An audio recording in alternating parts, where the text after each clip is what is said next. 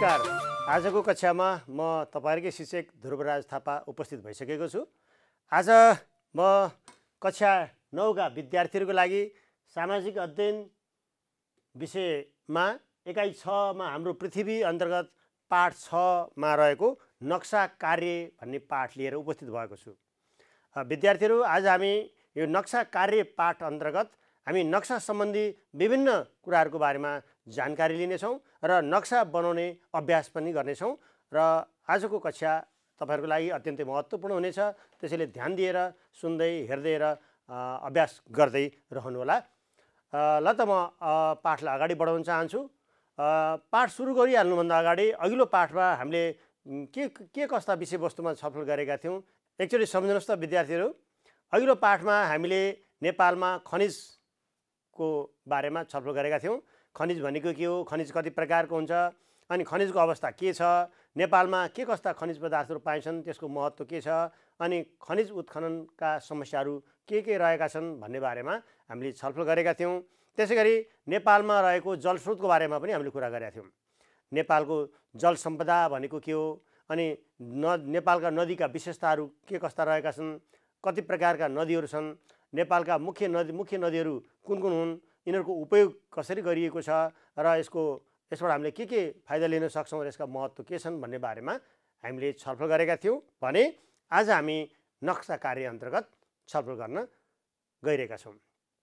ल अब नक्सा कार्य भन्ने बित्तिकै नक्सासँग सम्बन्धित कुराहरू पर्छ। नक्सा बनाउने नक्साको बारेमा जानकारी राख्ने कुराहरू पर्छ।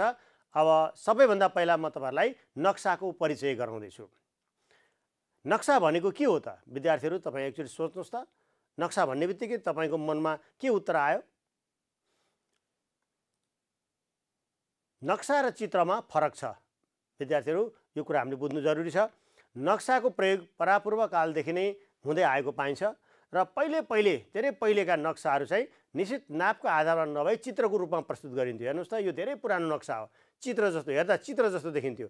त्यस्तो खालको नक्सा प्रस्तुत गरिन्थ्यो भने अहिले चाहिँ आधुनिक प्रविधिबाट नक्सा बनाउने प्रविधिको विकास भएको छ वैज्ञानिक ढङ्गले नक्सा बन्छ।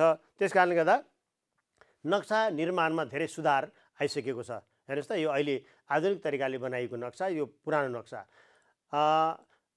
त्यस्तै गरी नक्साको कुरा गर्दा नक्सा भनेको के हो त भन्ने भनेर हामीले भन्नुपर्दा नक्सा भनेको निश्चित नाप र सङ्केतको आधारमा धरातलको कुनै भागलाई कागजमा प्रस्तुत गर्ने विधि नै नक्सा हो।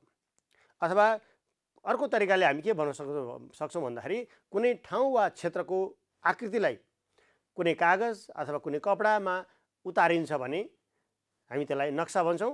नक्सामा निश्चित नापको प्रयोग गरिएको हुन्छ। जमिनमा भएका सबै ठिक ठिक स्थानलाई उतारेको रेखाचित्रलाई नक्सा भनिन्छ भनेर अर्को तरिकाले पनि हामीले भन्न सक्छौँ। जमिनमा भएका सबै ठिक ठिक भनेको जहाँ जे जस्तो अवस्थिति छ वस्तुस्थिति छ त्यसलाई जस्ताको तस्तै उतार्ने भनेको। त्यसलाई हामी नक्सा भन्छौँ। नक्सामा गोलाकार पृथ्वीलाई समतल रूपमा देखाइएको हुन्छ।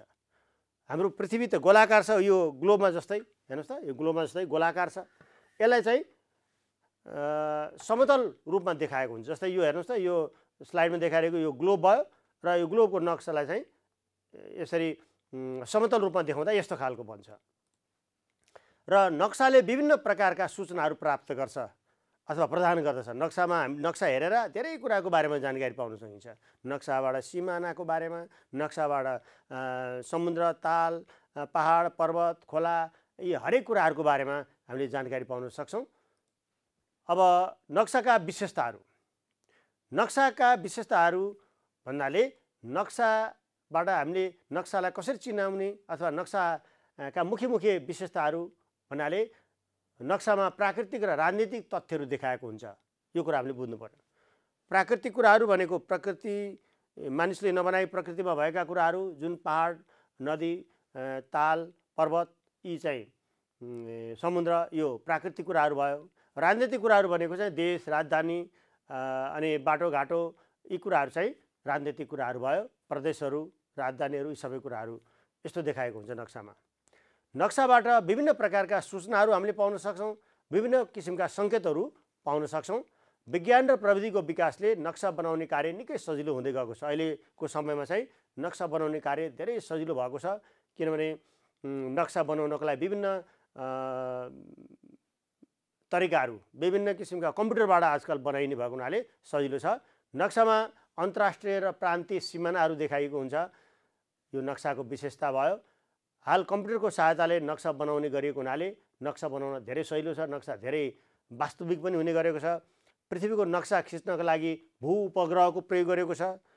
भू उपग्रह भनेको माथि आकाशमा कृत्रिम उपग्रह त्यहाँ राखिएको छ जसले चाहिँ पृथ्वीको नक्सा खिच्छ र त्यो नक्सालाई कम्प्युटरमा बसेर शैलीसँग निकाल्न सकिन्छ।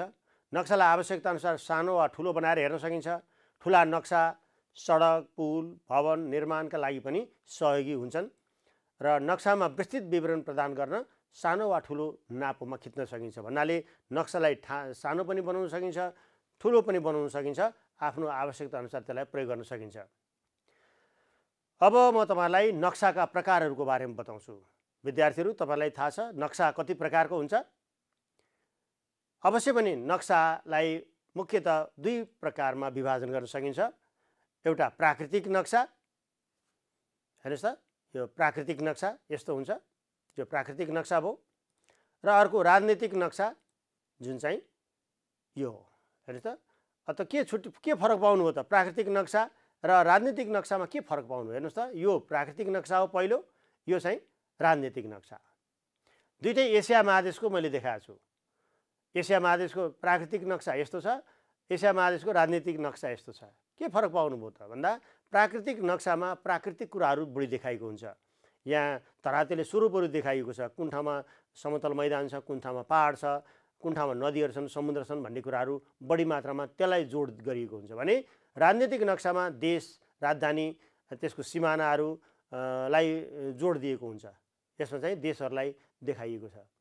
यसमा देश छुट्याउन त्यति गा सजिलो छैन। यहाँ प्राकृतिक कुराहरू बढी मात्रामा छ। त्यस हुनाले नक्सा प्राकृतिक नक्सा र राजनैतिक नक्सा गरेर नक्सालाई मुख्यतः दुई भागमा विभाजन गर्न सकिन्छ। तर हाम्रो पुस्तकमा नक्सालाई तिन भागमा विभाजन गरेर देखाइएको छ। यो प्रयोगको आधारमा हेर्ने भने उद्देश्यमूलक नक्सा स्थलाकृत नक्सा र राजनीतिक नक्सा गरेर यी तिन भागमा छुट्याएको छ। यो जुन कुरा दुईवटा त मैले भने यो एउटा चाहिँ उद्देश्यमूलक नक्सा पऱ्यो। उद्देश्यमूलक नक्सा भनेको एउटा विशेष उद्देश्यको आधारमा बनाएको नक्सा। जस्तो यो हाम्रो जमिन खेतबारीको आफ्नो ज जमिनको साथ सिमाना र किता नम्बर कति पर्छ भनेर हेर्नको लागि बनाएको विशेष उद्देश्यले बनाएको नक्सा भएको हुनाले यसलाई उद्देश्यमूलक नक्सा भनिएको हो। र यो चाहिँ स्थलाकृत नक्सा भनेको प्राकृतिक कुराहरू देखाएको प्राकृतिक नक्सा हो राजनीतिक नक्सा त मानिसले बनाएका संरचना देखाउने नक्सा राजनीतिक नक्सा भयो। त्यस हुनाले हाम्रो किताबमा उद्देश्यमूलक नक्सा स्थलाकृत नक्सा र राजनीतिक नक्सा गरेर नक्सालाई नक्साका तिनवटा प्रकार देखाइएको छ। हेर्नुहोस् त यो चाहिँ प्राकृतिक नक्सा भयो यो अरू हेर्नु पर्दैन है त मैले अर्कै उद्देश्यको लागि तयार पारेको। खालि यो नेपालको स्वरूप हेर्नुहोस् त नेपालको स्वरूपमा देखाइएका कुराहरू। यहाँ चाहिँ हिमाल पहाड मैदानहरू देखाइएको छ। त्यस हुनाले यो प्राकृतिक नक्सा भयो। यो चाहिँ राजनीतिक नक्सा भयो यहाँ पोलिटिकल म्याप लेखेको छ। यहाँ चाहिँ सतहत्तरै जिल्ला र सातवटा प्रदेशलाई छुट्याएको छ। हेर्नुहोस् त यो एउटा प्रदेश यो एउटा प्रदेश प्रदेश प्रदेश छुट्याएको छ अनि सतहत्तरै जिल्लालाई पनि प्रष्ट रूपमा देखाइएको छ। यो चाहिँ राजनीतिक नक्सा भयो। यो चाहिँ यहाँ अग्ला अग्ला हिमालहरू यो रङले हिमाल देखाएको छ यो बिचको पहेँलो पहेँलो खैरो खैरो रङले पहाड देखाएको छ यो हरियो रङले मैदान देखाएको छ र यहाँ नदीहरू पनि मुखी मुखी नदीहरू देखाएको छ कोशी कडाली गण्डकी लगायतका नदीहरू देखाएको छ। हो यो नक्सा प्राकृतिक नक्सा हुन्। अब उद्देश्यमूलक नक्सा भनेको कस्तो हो त? भन्दा मैले अघि नै तपाईँहरूलाई बताइसकेँ विशेष उद्देश्य प्राप्तिको लागि बनाएको नक्सा। जस्तो यो हाम्रो घर जग्गाको नक्सा यस्तो खालको हुन्छ। र यहाँ यो प्रत्येक किता नम्बर भनिन्छलाई यो प्रत्येक किता नम्बर आफ्नो जग्गाको किता नम्बर कति हो कहाँनिर पर्छ भनेर हेर्न सकिन्छ। यस्तो किसिमको नक्सालाई हामी उद्देश्यमूलक नक्सा भन्छौँ। सार्वजनिक वा व्यक्तिगत सम्पत्ति सिमानासहित देखाउने नक्सा उद्देश्यमूलक नक्सा हो। सहरी क्षेत्रमा खानेपानीको वितरण सम्बन्धी नक्सा पनि उद्देश्यमूलक नक्साभित्र पर्छ। हाम्रो घर जग्गा देखाउने नक्सा पनि त्यस्तै नक्सा हो।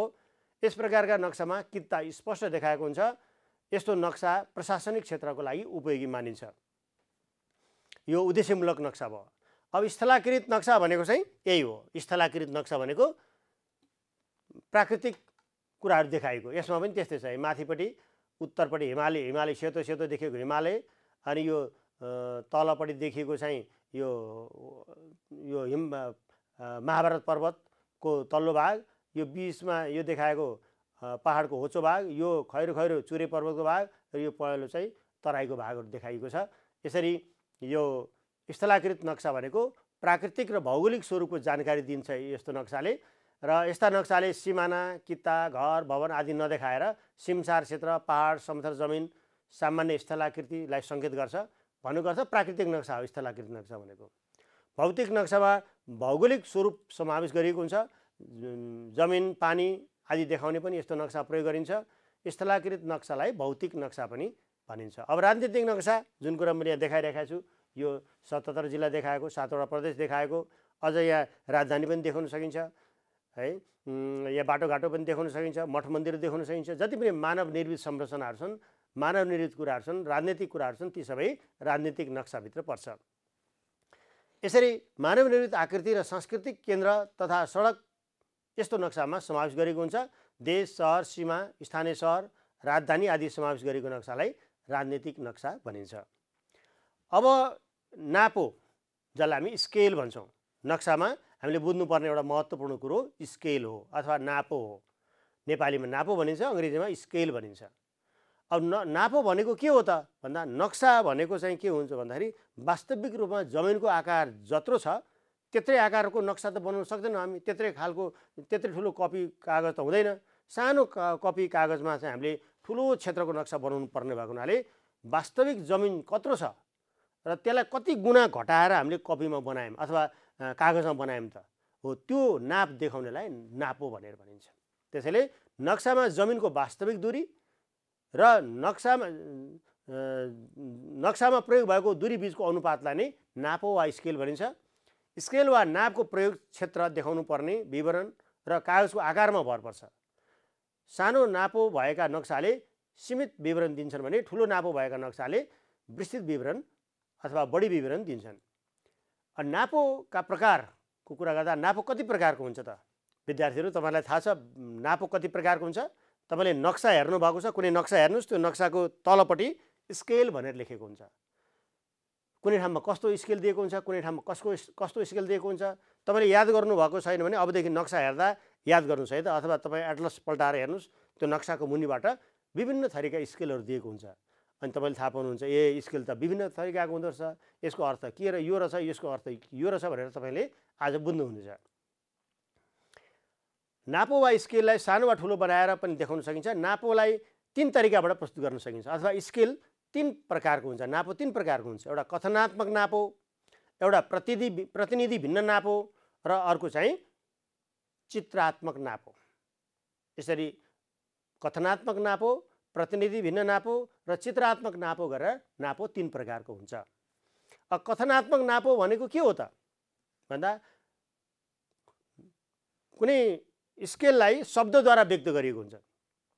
कागज र जमिनको दूरीलाई शब्दमा व्यक्त गरिएको छ भने त्यस्तोलाई चाहिँ हामी कथनात्मक नापो भनेर भन्छौँ। जस्तो हेर्नुहोस् त नक्सा बनाएको छ नक्साको मुनिबाट एक सेन् स्केल लेखेर एक सेन्टिमिटर बराबर दस मिटर भन्यो भने के बुझ्नु पऱ्यो त? एक सेन्टिमिटरले दस मिटर देखाइरहेको छ भन्ने बुझ्नु पऱ्यो नक्सामा एक सेन्टिमिटर बराबर वास्तविक जमिनमा चाहिँ दस मिटर हुन्छ भनेर बुझ्नु पऱ्यो यस्तो तरिकाले यो शब्दद्वारा व्यक्त गरेको स्केललाई हामी के भन्छौँ त कथनात्मक स्केल भन्छौँ। त्यस्तै गरी एक इन्च बराबर दस माइल भने हुनसक्छ अथवा एक इन्च बराबर एक किलोमिटर भने हुनसक्छ। यस्तो तरिकाले दिएको स्केललाई चाहिँ हामीले कथनात्मक स्केल भनेर भन्छौँ।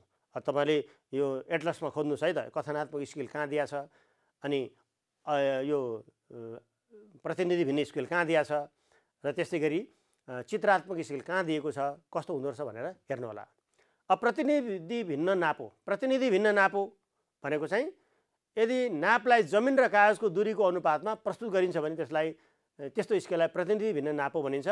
यस्तो नापोको भिन्नको हरले धरातलको दूरी र अंशले कागजको दूरीलाई बताउँछ।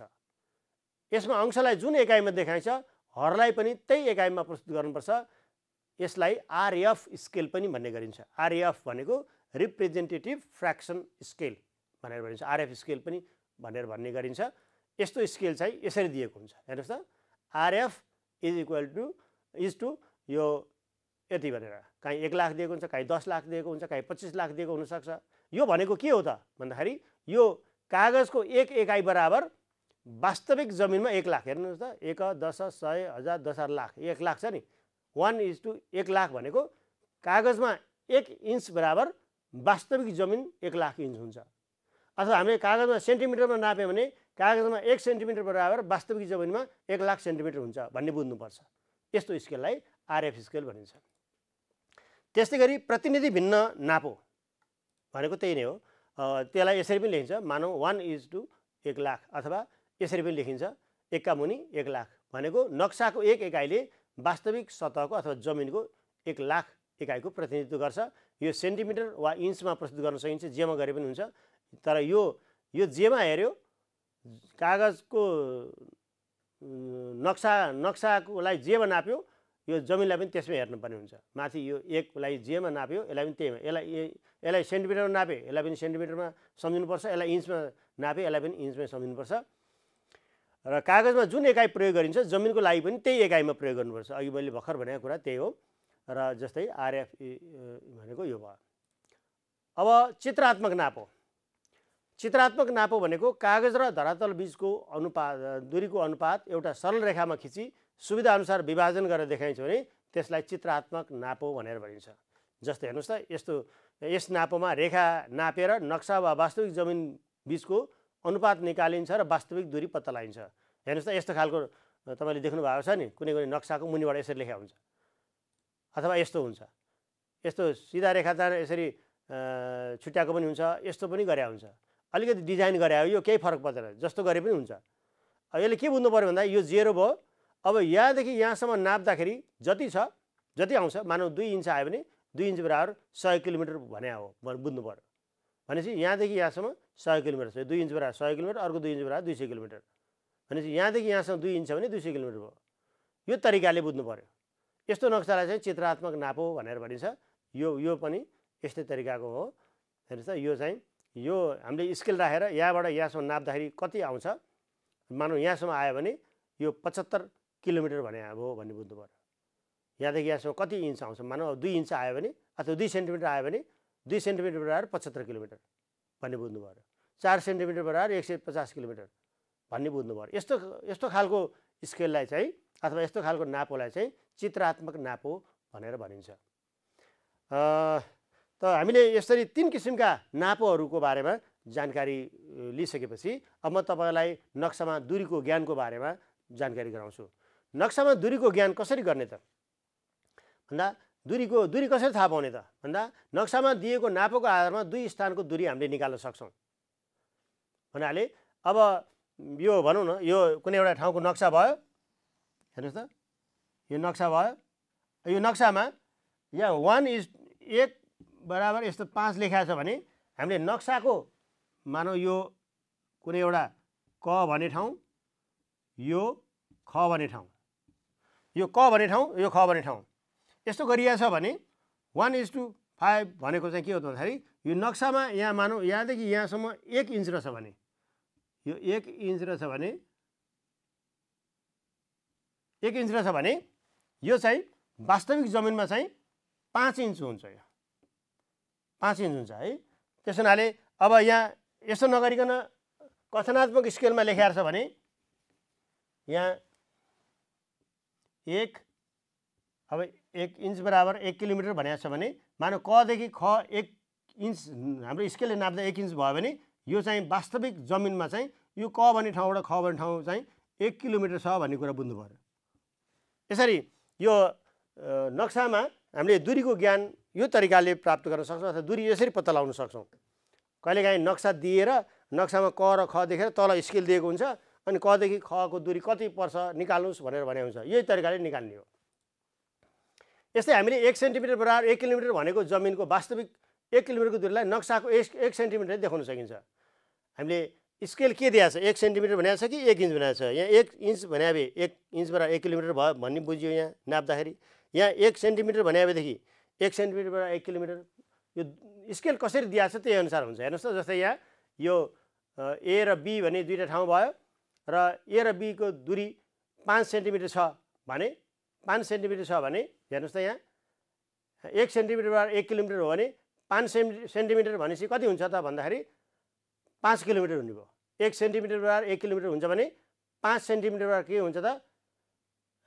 यसले इन्टु गर्नु पऱ्यो नि होइन?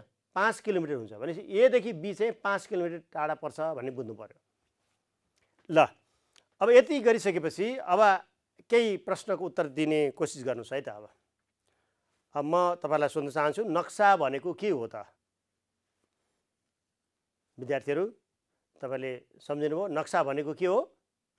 नक्सा भनेको कुनै ठाउँ वा क्षेत्रको आकृतिलाई निश्चित नापको आधारमा कागजमा उतारिन्छ भने त्यसलाई नक्सा भनिन्छ होइन त? नक्सामा कुनै ठाउँको ठिक ठिक कुरालाई ठिक तरिकाले प्रस्तुत गरिएको हुन्छ त्यसलाई हामी नक्सा भन्छौँ त्यसमा स्केल दिएको हुन्छ। नक्सा कति प्रकारका हुन्छन्? नक्सा कति प्रकारका हुन्छन् भन्दा नक्सा मुख्यत दुई प्रकारका हुन्छन् प्राकृतिक नक्सा र राजनीतिक नक्सा। हाम्रो पुस्तकमा तिन प्रकारको छुट दिएको छ होइन उद्देश्यमूलक नक्सा अनि प्राकृतिक नक्सा र राजनीतिक नक्सा होइन? त्यसरी दिएको छ। त्यसरी नक्साको आधारमा दुरी कसरी पत्ता लगाउन सकिन्छ? भन्दा नक्साको आधारमा दुरी कसरी पत्ता लगाउन सकिन्छ? ल सोध्नुहोस् त भर्खर मैले बताएँ नि तपाईँहरूलाई होइन? नक्साको आधारमा दुरी कसरी पत्ता लगाउन सकिन्छ भन्दा नक्साको मुनिबाट स्केल दिएको हुन्छ। त्यो स्केलको आधारमा हामीले नक्साका दुई ठाउँलाई नाप्नु पऱ्यो स्केल राखेर नाप्नु पऱ्यो अनि स्केल जति दिएको छ त्यसले गुणान गर्नु पऱ्यो जस्तै यहाँ कदेखि खसम्म एक इन्च छ भने एक एक इन्च बराबर एक किलोमिटर हो भने यो ठाउँ कदेखि ख एक इन्च भयो। यदि दुई इन्च भएको भए दुई किलोमिटर हुन्थ्यो होइन यसरी पत्ता लगाउनु पर्ने हुन्छ। त्यसै गरी नापो भनेको के हो? र नापो कति प्रकारका हुन्छन्? नापो भनेको के हो त? धरातलको धरातलको निश्चित नापलाई कति गुणा घटाएर कागजमा बनाएको छ? त्यसको बारेमा जानकारी गराउने एकाइलाई हामी नापो भन्छौँ। होइन? नक्सा त कुनै एउटा कपीमा एउटा निश्चित सानो साइजको कागजमा बनाइएको हुन्छ। वास्तविक रूपमा जमिन त धेरै ठुलो हुन्छ। त्यो धेरै ठुलो जमिनलाई कति गुणा घटाउँदै घटाउँदै घटाउँदै ल्याएर एउटा एउटा पेजमा ल्याएर राख बनाएको छ अथवा सानो कागजमा बनाएको छ त। हो त्यो कति गुणा घटाइएको छ त्यही नापो अथवा त्यही नापलाई नै हामी नापो भन्छौँ। नापो तिन प्रकारको हुन्छ। होइन त? नापो तिन प्रकारको हुन्छ। के के हो त? एउटा कथनात्मक नापो एउटा प्रतिनिधि भिन्न नापो अर्को चाहिँ चित्रात्मक नापो। अर्को उद्देश्यमूलक नक्सा केलाई भनिन्छ? केलाई भनिन्छ? भर्खरै हामीले छलफल गरेका थियौँ। उद्देश्यमूलक नक्सा कुनै खास उद्देश्य प्राप्तिको लागि कुनै उद्देश्य पुरा गर्नको लागि बनाइएको हुन्छ। जस्तै हाम्रो घर जग्गाको नक्सा खानेपानीले चाहिँ खानेपानी वितरणको बारेमा बनाएको नक्सा टेलिफोनले टेलिफोन कहाँ कहाँ पुगेको छ भनेर बनाएको नक्सा होइन? कुनै रेडियोले हाम्रो रेडियो कुन कुन नेपालको कुन कुन ठाउँमा पुग्छ पुगेका छ भनेर त्यसको लागि बनाएको नक्सा। त्यो त उद्देश्य कुनै खास उद्देश्य राखेर बनाएको नक्सालाई हामी उद्देश्यमूलक नक्सा भन्छौँ। ल अब हामी नक्सा बनाउने विधितिर जाउँ है त? नक्सा बनाउने विधि। नक्सा बनाउने विधि पनि एउटा महत्त्वपूर्ण विधि हो। हामीले नेपालको नक्सा अथवा कुनै पनि नक्सा बनाउन जान्नुपर्छ र त्यो नक्सा बनाउने कसरी त? भन्दा नक्सा भनेको एक किसिमको भाषा हो र यसमा रेखाचित्रको भाषा प्रयोग गरेको हुन्छ जसले गर्दा प्रयोगकर्तालाई दिन खोजेको सूचना सजिलै बुझ्न सकिन्छ। नक्सा बनाउनको लागि हातले बनाउने वा कम्प्युटरमा आधारित भौगोलिक सूचना प्रणालीका विधिहरू प्रचलित छन्। कतिपय नक्साहरू हातले बनाइन्छन् र धेरै जस्तो नक्साहरू आजभोलि कम्प्युटर प्रणालीबाट बनाइन्छ। भौगोलिक सूचनाका आधारमा भौगोलिक सूचना प्रणालीका आधारमा बनाइन्छ। जिआइएस भन्ने सुन्नुभएको छ जियोग्राफिकल इन्फर्मेसन सिस्टम त्यो भू उपग्रहले आकाशमा भू उपग्रह छोडेको हुन्छ। त्यो भू उपग्रहले पृथ्वीको नक्सा खिच्छ र त्यसले चाहिँ पृथ्वीको स्टेसनमा पठाउँछ र त्यो स्टेसनले चाहिँ हाम्रो कम्प्युटरमा पठाउँछ इन्टरनेट जोडिएको ठाउँमा र त्यहाँबाट नक्साहरू तयार पार्ने गरिन्छ जसलाई हामी जिआइएस भनेर भन्छौँ। अब हाम्रो विद्यार्थीहरू विद्यार्थी जीवनमा हामीले हातैले नक्सा बनाउनु पर्ने हुन्छ। नेपालको नक्सा बनाएर सामाजिकमा चाहिँ नेपालको नक्सा बनाएर विभिन्न तथ्यहरू भर्नुपर्ने कुराहरू चाहिँ परीक्षामा पनि सोधिन्छन्। त्यस हुनाले हामीले चाहिँ यसरी हातैले बनाउने नक्सालाई चाहिँ हामी स्वतन्त्र नक्सा भनेर भनिन्छ। स्वतन्त्र नक्साङ्कन विधिबाट नक्सा बनाउने भनेर भनिन्छ। र नक्सा बनाउने धेरै तरिका छन्। जमिन सर्वेक्षण सर्वेको आधारमा कम्प्युटरमा आधारित भौगोलिक सूचना प्रणाली जसलाई जोग्राफिक इन्फर्मेसन सिस्टम अथवा जिआइएस भनेर भनिन्छ। यसरी यो कम्प्युटरबाट पनि नक्सा बनाइन्छन्। नक्सा बनाउँदा उद्देश्य एवं स्रोत साधनको उपलब्धताको आधारमा विधिको छनौट गरेर नक्सा बनाउन सकिन्छ। र यहाँ तपाईँहरूको किताबमा नक्सा नेपालको नक्सा बनाउनको लागि जालीदार विधि दिएको छ। जालीदार रेखाचित्रका आधारमा कसरी नक्सा बनाउने भनेर एउटा विधि दिएको छ। हामी त्यही विधिको बारेमा आज हामी प्रयोग गरेर हेर्छौँ। र विद्यार्थीहरू तपाईँहरूले नेपालको नक्सा बनाउनको लागि विभिन्न तरिकाहरू छन्। यही यही तरिकाले बनाउनुपर्छ भन्ने छैन। र तपाईँले युट्युबमा हेर्नुभयो भने पनि इन्टरनेटहरूमा खोज्नुभयो भने पनि नेपालको नक्सा बनाउने विभिन्न तरिकाहरू दिएका छन्। तपाईँले त्यहाँ गएर खोजेर हेरेर पनि नेपालको नक्सा बनाउने प्रयास गर्न सक्नुहुनेछ। तर आज हामी चाहिँ तपाईँको किताबमा दिएको हुनाले त्यो जालीदार रेखाचित्र विधिको आधारमा हामी नक्सा बनाउने तरिकाको बारेमा यहाँ देखाउँदैछौँ। त अब वास्तवमा नक्सा बनाउनको लागि चाहिँ हामीले प्रयासै हो। बारम्बारको प्रयास गरेपछि नहेरिकन नेपालको नक्सा बनाउन सकिन्छ अथवा कुनै पनि ठाउँको नक्सा बनाउन सकिन्छ। जस्तै नेपालको नक्सा बनाउनको लागि पहिला एउटा नेपालको नक्सा लिने हेर्नुहोस् त यस्तो नेपालको नक्सा लिने र नेपालको नक्सा एउटा लिइसकेपछि मैले निकाल्छु। यसरी हामीले एउटा नेपालको नक्सा लिने यो अभ्यास गर्नको लागि हो है। अब अभ्यास गर्नको लागि हामीले एउटा नेपालको नक्सा लिने र यो नेपालको नक्सालाई हामीले यहाँ मैले एउटा उदाहरण लिएको छु तपाईँहरूको किताबमा पनि त्यही दिएको छ। बिस सेन्टिमिटर लम्बाइ र बाह्र सेन्टिमिटर चौडाइको एउटा आयताकार बाकसभित्र अथवा आयतभित्र यसलाई राख्ने। यो बिस सेन्टिमिटर हुनु पऱ्यो र यसको चौडाइ बाह्र सेन्टिमिटर हुनु पऱ्यो अथवा तपाईँको कपीको साइज कम छ भने तपाईँले यसलाई दस सेन्टिमिटर र यसलाई छ सेन्टिमिटर पनि लिन सक्नुहुन्छ है? र यो तरिकाले तपाईँले लिन सक्नुहुन्छ। र त्यसपछि हामीले के गरेका छौँ त भन्दाखेरि यो दस सेन्टि बाह्र सेन्टिमिटरलाई यो चार चार सेन्टिमिटरमा यसरी यतापट्टि यो धर्का तानेका छौँ र त्यस्तै गरी बिस सेन्टिमिटरको बिचबाट दस सेन्टिमिटरमा धर्का तानेछौँ र यतापट्टि छ सेन्टिमिटर बिचमा रहने गरी छेउपट्टि चार सेन्टिमिटर रहने गरी दुवैतिर यसरी धर्का तानेर एउटा जालीदार जाली बनाएका छौँ। रेखा कोरेर जाली बनाएका छौँ र यो नक्साको आधारमा यसको आधारमा अब हामीले नेपालको नक्सा कसरी बनाउने त भनेर म तपाईँहरूलाई यहाँ देखाउँछु। त्यसको आधारमा नेपाल नक्सा बनाउनको लागि सबभन्दा पहिला पहिला तपाईँले यस्तो बनाइसकेपछि अब यस्तै तपाईँले यस्तो खाली नक्सा खाली बनाउनु पऱ्यो यो है यो खाली बनाउनु पऱ्यो अब यो तरिकाले तपाईँले यो नक्सा यस्तो बनाइसकेपछि अब तपाईँले कहाँनिर पर्दो रहेछ भनेर विचार गर्नलाई यस्तै गरी दुरुस्तै हुने गरी अब कोठा मात्रै बनाउने। कोठा मात्रै बनाइसकेपछि अब तपाईँले के गर्ने त भन्दाखेरि त्यो कोठामा यो कहाँ कहाँ छोएको छ त? यो कहाँ कहाँ छोएको छ? हेर्नुहोस् है अब जस्तै यो यो नक्सा यस्तो यसरी मैले यहाँ बनाएको छु। यो हेर्नुहोस् त यहाँ छिटो होस् भनेर मैले पहिले चिनो लगाएर बनाएर ल्याएको छु सजिलोको लागि। हेर्नुहोस् त अब यो कहाँ कहाँ छोएको छ त? जस्तो यो यो रेखा यो रेखा हेर्दाखेरि यसको बिचतिर यहाँ छोएको हुनाले मैले यहाँ चिनो लगाएँ। यसरी तपाईँले चिनो लगाउन सक्नुहुन्छ। त्यस्तै गरी यो यो रेखाले यो रेखाको यो आधाभन्दा अलिक पर आधाभन्दा अलि अलि परपट्टि काटेको हुनाले यहाँनिर मैले चिनो लगाएको छु। त्यस्तै गरेर यो तलपट्टि यो यहाँनिर छ यो यो यो ठाउँनेरिको मैले चिनो लगाएको यो। अनि त्यस्तै गरी यो रेखाले यहाँ तलपट्टि अलिकति नसुनी गरी यो यहाँनिर झन्डै एक उमल जति अथवा एक इन्च एक सेन्टिमिटर जति हुने गरी यहाँ राखेको छ। त्यस्तै गरी यतापट्टि पनि यो झन्डै यो बराबरी हुने गरी यहाँनिर चिनो लगाउने र यो रेखामा यहाँनिर काटेको हुनाले त्यहाँनिर बनाएको छु र यहाँनिर यहाँसम्म आएको हुनाले यहाँ एउटा चिनो लगाएको छु सम्झिनको लागि। त्यस्तै गरी यहाँनिर यो ठाउँमा काटेको हुनाले यहाँ मैले काटेर चिनो लगाएको छु र अनि यो रेखामा यहाँनिर आधाभन्दा अलि माथिपट्टि परेको छ यहाँ लगाएको छु यो ठाउँ। त्यस्तै गरेर यो यसमा यहाँ र यहाँ हेर्नुहोस् त यसमा र यहाँ काटेको हुनाले यहाँनिर मैले चिनो लगाएको छु। र यसमा आधातिर आधा जस्तो भागमा परेको हुनाले यहाँ लगाएको छु। र यो यस यो धर्कामा यहाँनिर भएको हुनाले यहाँ चिनो लगाएको छु। र अनि यो यसरी गएको हुनाले यो ठाउँमा एउटा यहाँ चिनो लगाएको छु र यो ठाउँ टुप्पो माथिको टुप्पोमा यहाँ चिनो लगाएको छु। यसरी हामीले चिनो लगायौँ भने करिब करिब नेपालको नक्सा यही ठाउँलाई पोइन्टलाई मात्रै जोडेर बनायो भने पनि नेपालको नक्सा जस्तो बन्छ बन्न चाहिँ। है?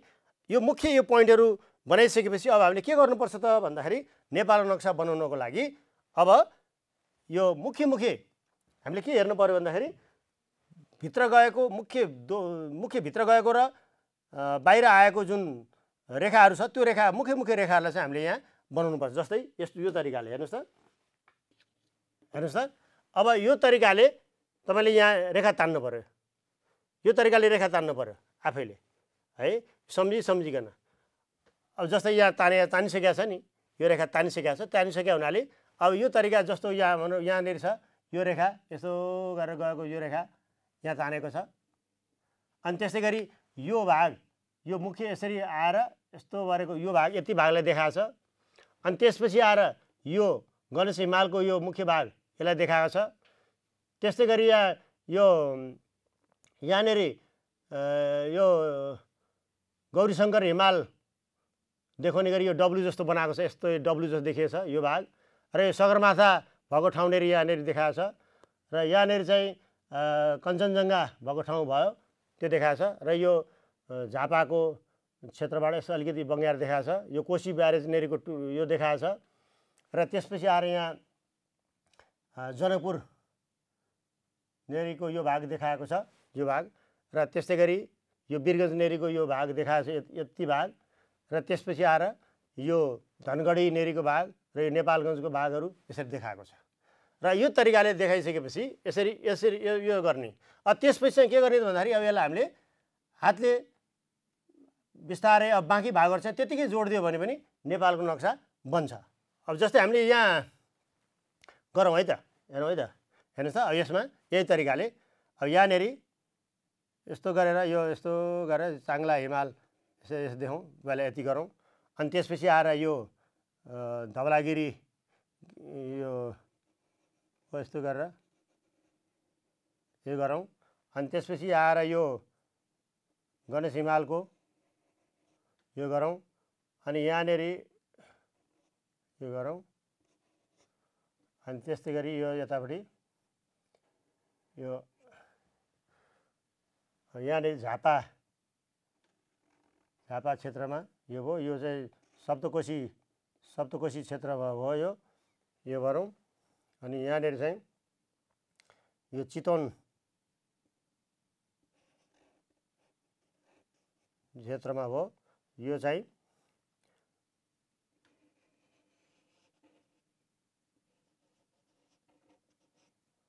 यो भयो। अब यहाँनिर चाहिँ यो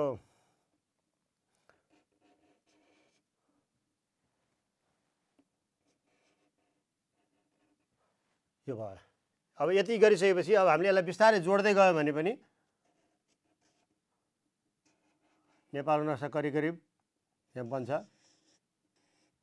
ल यसरी यहाँ नेपालको नक्सा करिब करिब नेपालको नक्सा बन्छ र हामीले अहिले अलिक छिटो छिटो गरेका छौँ र तपाईँले बिस्तारै प्रयत्न गर्नु भने एकदमै राम्रोसँग नेपालको नक्सा बन्छ र यो नेपालको नक्सा बनिसकेपछि तपाईँले यसलाई यो हामीले त पेन्सिलले गरे हुन्छ घरमा त होइन? मैले त देखियोस् भनेर का यो अलि मसीले गरेको थिएँ। यो यो भित्रको नक्साको रेखाहरू चाहिँ सबै मेटिदिने। भित्रको मात्रै मेटिदिए हुन्छ। भित्रको नक्सा मेटिदिने भित्रको रेखाहरू मेटिदिने र यसलाई पनि मेटिदिने। यहाँ चाहिँ हामीले नक्सा भर्नुपर्ने हुन्छ। नक्सा भर्दा भरेर सङ्केतहरू प्रयोग गर्नुभएको हुनाले यसलाई पनि मेटिदिनु भयो हुन्छ। र यहाँनिर चाहिँ हामीले यहाँ सङ्केत प्रयोग गर्छौँ। यहाँ सङ्केतको अर्थ लेखेर नक्सा भर्ने गर्छौँ। र यो तरिकाले हामीले नेपालको नक्सा बनाउन सकिन्छ।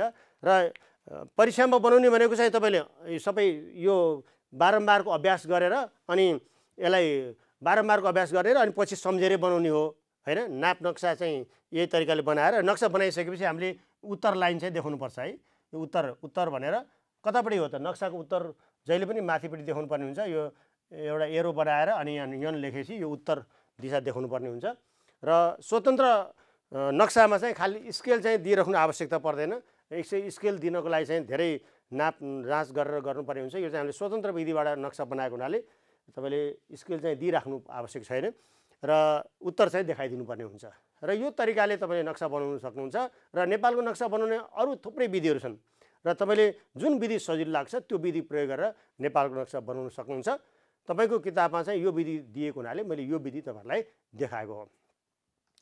ल अब हामी नक्सा को लागि तपाईँले घरमा बनाउनुहुन्छ भने नक्सा बनाउनको लागि चाहिने सामग्री भनेको पेन्सिल कलम रुलर इरेजर र आधार नक्सा भनेको एउटा मुख्य नक्सा चाहियो जसरी यहाँ छ नि आधार नक्सा यो आधार नक्सा हो आधार नक्सालाई यो अघि भनेअनुसार रेखा कोर्ने यो अघि भनेको नापोमा र यो नापो अनुसारको नक्सा हेर्नुहोस् त यहाँ मैले देखाएको छु। यो नक्सामा चाहिँ के गर्ने भन्दाखेरि यस्तो हुन्छ यसलाई यो खाली कोर्ने अनि त्यसपछि यो चिन्ह लगाउने चिन्ह लगाएपछि यो मुखी मुखी भित्र गएका बाहिर गएका मुख्य मुख्य जहाँ जहाँ बाङ्गिएका धर्काहरू छन् त्यो मुख्य मुख्य धर्काहरूलाई चाहिँ कोर्ने अनि त्यसपछि त्यसलाई जोडिदिने र सिङ्गो नेपालको नक्सा बन्छ। बनिसकेपछि यसलाई मेटिदिने यो भित्रको धर्का मेटिदिने यो छेउको मेटिदिने र नक्सा पुरा तयार भयो अनि यहाँ उत्तर सङ्केत देखाइदिने।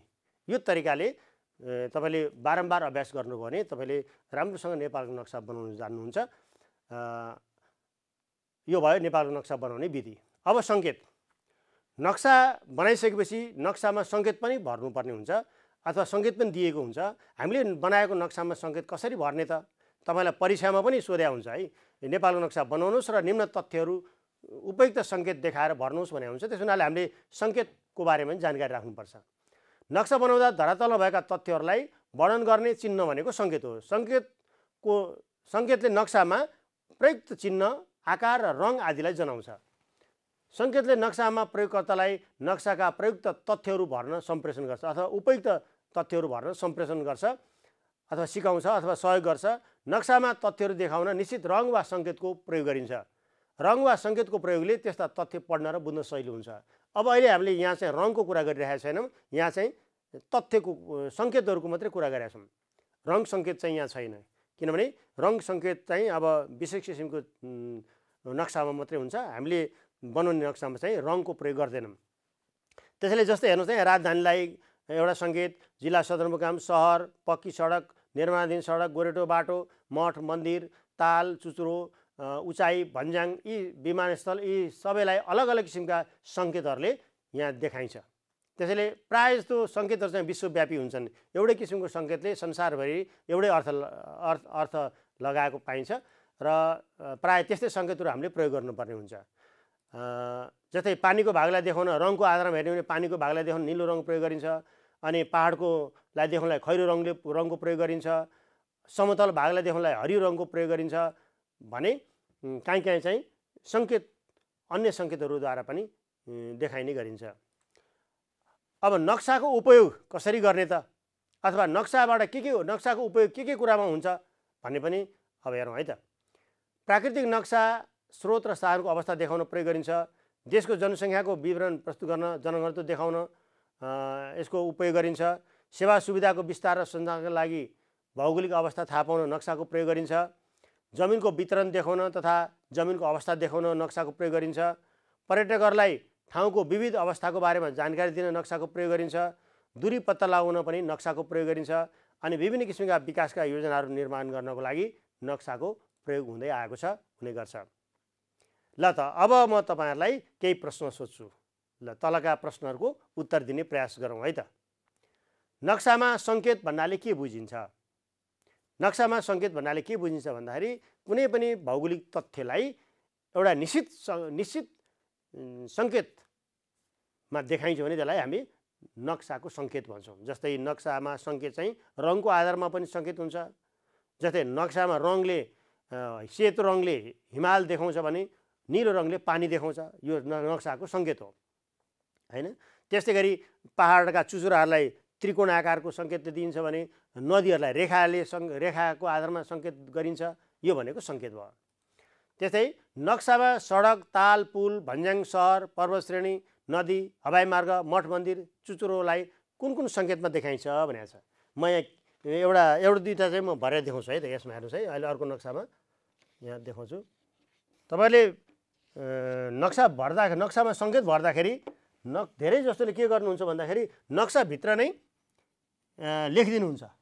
त्यसो गर्नु हुँदैन है? नक्सामा चाहिँ सङ्केत मात्रै प्रयोग गर्ने हो जस्तै एउटा ताल ल हेर्नुहोस् है ताल। ल फेवा ताल भन्यो। फेवा ताल भनेपछि मैले यहाँ पोखरामा फेवा ताल भनेर देखाएँ हेर्नु तालको यस्तो मात्रै गरिदिने यहाँ। यहाँ ताल हेर्नुहोस् है। अनि त्यस्तै गरी अब सहर भन्यो ल यहाँ ए काठमाडौँ सहर। ल है त्यस्तै गरी एउटा नदी नदी ल यसरी बनाइयो भने अब हेर्नुहोस् त यहाँ हामीले के गर्नुपर्छ भन्दाखेरि यहाँ चाहिँ लेख्ने होइन यहाँ चाहिँ हामीले यहाँ सङ्केत भनेर लेख्ने। सङ्केत भन्ने अनि के गर्ने भन्दाखेरि यहाँ सङ्केतहरू बनाउने। यो चाहिँ अब के देखाएको त भन्दा फेवा ताल यसरी लेखिदिने। नक्सा सफा पनि देखिन्छ नक्सा भर्ने एकदम राम्रो तरिका भनेको यो हो। धेरै जस्तोले चाहिँ यहीँ फेवा ताल भनेर लेखिदिएको हुन्छ यहीँ कोसी नदी लेखिदिएको हुन्छ। यहाँ चाहिँ अब यो अर्को सङ्केत छ के के छ? काठमाडौँ। यो चाहिँ कोसी नदी हेर्नुहोस् त अब यो तरिकाले हामीले नक्सा भर्नुपर्ने हुन्छ। यहाँ नक्सामा सङ्केत मात्रै राख्ने अनि यहाँ चाहिँ सङ्केतको अर्थ लेखेर के देखाएको त्यो प्रश्न लेख्नुभयो भने यो तरिकाले हामीले नक्सा भर्नु भर्नुपर्ने छ। यो नक्सा भरिसकेपछि नक्सा हामीले बनाएको नक्सामा यो नक्सा के को हो भनेर लेख्नु पऱ्यो नेपालको नक्सा भनेर लेख्नु पऱ्यो यसको उत्तर लाइन उत्तर उत्तर देखाउनु पऱ्यो उत्तर भनेर देखाउनु पऱ्यो यस्तै यो तरिकाले हामीले नक्सा बनायो भने अनि नक्सा आकर्षक सफा राम्रो र देखिन्छ भने यसको पुरा नम्बर पनि हामीलाई प्राप्त हुनसक्छ। त्यस हुनाले नक्सा भर्ने तरिका यो हो। त्यस हुनाले अब नक्सामा ताललाई कुन पुललाई भनेको छ? पुलको नक्स पुललाई हेर्नुहोस् त यो यस्तो सङ्केत देखाइन्छ। पुललाई यो सङ्केतले देखाइन्छ। पुल जस्तै बनाउने। न कहाँनिर कुन पुल भनेको छ नि त्यो गर्ने। अनि पर्वत श्रेणी भनेको छ भने पर्वत श्रेणीलाई चाहिँ यसरी पर्वत श्रेणीको सङ्केत चाहिँ यो हो। त्यसरी नदी त भइहाल्यो। हवाई मार्ग भन्यो भने प्लेनको सानो। सानो प्लेनकै अब प्लेनलाई प्लेन प्लेन बनाइदिने। यस्तो गरेर त्यो बनाइदिनु त्यो तपाईँले प्लेन हवाई मार्ग अथवा हवाई मैदानलाई देखाउनु पऱ्यो यस्तो देखाउने। चुचुरोलाई यस्तो त्रिभुज जस्तो बनाएर यसलाई चाहिँ कालो गरिदिने। यो चाहिँ चुचुरो भयो। है? अनि सहरलाई थोप्लो अथवा कालो टिका लगाउने भन्ज्याङलाई भन्ज्याङ भनेको चाहिँ फेरि यस्तो हुन्छ। भन्ज्याङलाई चाहिँ यस्तो सङ्केत अथवा यस्तो पनि गरिन्छ। यस्तो कुनै पनि सङ्केत यस्तो प्रयोग गर्न सकिन्छ। मन्दिरलाई सानो मन्दिर नै बनाउन सकिन्छ। सानो मन्दिरको मन्दिरै बनाइदिन सकिन्छ। रेलमार्गलाई चाहिँ हामीले दुईवटा दुईवटा यस्तो झर्का तानेर यस्तो यस्तो यस्तो गरेर यो रेलमार्ग बनाउनु रेलमार्गको सङ्केत हो यो। यो तरिकाले नक्सामा विभिन्न सङ्केतहरू भर्नुपर्छ हामीले। मुख्य कुरा नक्सामा सङ्केत भर्ने तरिका चाहिँ मैले तपाईँलाई देखाएँ। यो चाहिँ तपाईँहरूले राम्रोसँग थाहा पाइराख्नुपर्छ। अब एक सेन्टिमिटर बराबर दस किलोमिटर स्केललाई प्रतिनिधि भिन्नमा देखाउनुहोस् भनेको छ एक सेन्टिमिटर बराबर दस किलोमिटर हुन्छ भने एक सेन्टिमिटर बराबर दस किलोमिटर स्केललाई कसरी देखाउने त? भन्दा एक सेन्टिमिटर बराबर दस किलोमिटर छ भने अब हामीले एक सेन्टिमिटर एक एक सेन्टिमिटर बराबर एक किलोमिटर भनेको चाहिँ एक लाख हुन्छ भने एक लाख इन्टु दस भनेको यसलाई चाहिँ के गर्न सकिन्छ भन्दाखेरि एक सेन्टिमिटर बराबर यस्तो यस्तो गर्न सकिन्छ। एक दस सय हजार दस हजार लाख दस लाख हुन्छ। एक सेन्टिमिटर बराबर दस किलोमिटरको स्केल चाहिँ यस्तो हुन्छ। किनभनेदेखि हामीलाई थाहा छ एक मिटरमा सय सेन्टिमिटर हुन्छ। अनि एक किलोमिटरमा चाहिँ सय इन्टु दस गर्दा एक लाख सेन्टिमिटर हुन्छ। एक लाखलाई दस दस किलोमिटरको हुने भएको हुनाले दसले गुणन गर्दा दस लाख हुन्छ। त्यस हुनाले यो चाहिँ एक सेन्टिमिटरलाई बराबर दस किलोमिटरको प्रतिनिधि स्केल चाहिँ प्रतिनिधि भिन्न स्केल चाहिँ यो यो किसिमको हुन्छ। एक दस सय हजार दस हजार लाख दस लाख। यस्तो बन्छ है? नक्सामा एक ठाउँदेखि अर्को ठाउँको दूरी कसरी पत्ता लगाउन सकिन्छ? भन्दा अघि नै मैले तपाईँलाई यहाँ बनाएर देखाइसकेका छु। नक्सामा कुन ठाउँदेखि कुन ठाउँसम्मको दुरी पत्ता लगाउने हो? हामीले त्यो ठाउँ दुई ठाउँकोलाई पोइन्ट गर्ने अनि त्यसलाई हाम्रो स्केल राखेर नाप्ने। नापिसकेपछि मानौँ यो चार सेन्टिमिटर छ। चार सेन्टिमिटर छ भने नक्सामा के स्केल के दिएको छ? त्यो स्केल हेर्नु पऱ्यो स्केलमा एक सेन्टिमिटर बराबर एक किलोमिटर भने भएदेखि चार सेन्टिमिटर भनेको चार किलोमिटर भयो। होइन? यो तरिकाले पत्ता लगाउने हो। ल त विद्यार्थीहरू आज हामीले नक्सा निर्माण अथवा नक्सा कार्यमा हामीले नक्सा सम्बन्धी धेरै कुराहरूको बारेमा जानकारी गऱ्यौँ नक्साको परिचय गऱ्यौँ नक्साका विशेषताहरूको बारेमा थाहा पायौँ। नक्सा उद्देश्यमूलक नक्सा स्थलाकृत नक्सा प्राकृतिक नक्सा गरेर तिन प्रकारको हुँदो रहेछ भन्ने कुरा पनि बुझ्यौँ। त्यस्तै गरी नापो भनेको के हो भन्ने कुराहरू पनि थाहा पायौँ। नापोका प्रकारहरू कथनात्मक नापो प्रतिनिधि भिन्न नापो र चित्रात्मक नापोको उदाहरणसहित जानकारी पायौँ र नक्सामा दुरी कसरी पत्ता लगाउने दुरीको ज्ञान कसरी लिने अथवा एक नक्सामा एक ठाउँदेखि अर्को ठाउँको दुरी कसरी पत्ता लगाउने भन्ने कुरा मैले तपाईँलाई बोर्डमा प्रयोगत्मक रूपमा गरेर देखाएँ। त्यस्तै गरी नक्सा बनाउने विधि जालीदार तरिकाद्वारा नेपालको नक्सा कसरी बनाउने भन्ने विधिसहित तपाईँहरूलाई प्रयोगत्मक रूपमा देखाएँ र नक्सामा सङ्केतहरू कसरी प्रयोग गर्ने नक्सामा कुन कुन सङ्केतलाई कुन कुन सङ्केतले देखाएको हुन्छ भन्ने कुराको बारेमा पनि जानकारी गराएँ। विद्यार्थीहरू अवश्य पनि आजको कक्षामा तपाईँहरूले नक्सा कार्यमा धेरै कुराहरू बुझ्नुभयो। यो मैले जुन कुराहरू तपाईँलाई देखाएँ यो अभ्यास बारम्बार तपाईँले पनि आफ्नो घरमा गर्नुहोला र युट्युबमा तपाईँले हेर्न सक्नुहुन्छ विभिन्न तरिकाहरू दिएको छन् ती तरिकाबाट पनि तपाईँलाई जुन तरिका सजिलो लाग्छ त्यो तरिका अप्नाएर तपाईँले नेपालको नक्सा बनाउने प्रयास गर्नुहोला। भन्दै आजको कक्षा यतिबाट म बिदा हुन चाहन्छु। फेरि अर्को कक्षामा भेटौँला। हस्त नमस्कार।